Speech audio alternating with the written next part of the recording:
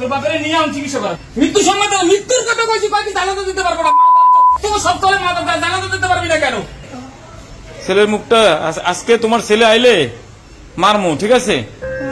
কে এই মানবতার ফেরিওয়ালা? মিল্টন সমাদার চলুন তার বিষয়ে আজকে আমরা জেনে নেব। কি জন্য আজকের এই দণ্ডটি?